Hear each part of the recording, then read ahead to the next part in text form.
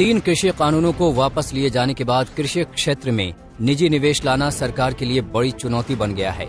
ऐसे में कृषि सुधारों की रफ्तार धीमी हो जाएगी और सरकारी खजाने पर ज़्यादा बोझ पड़ेगा।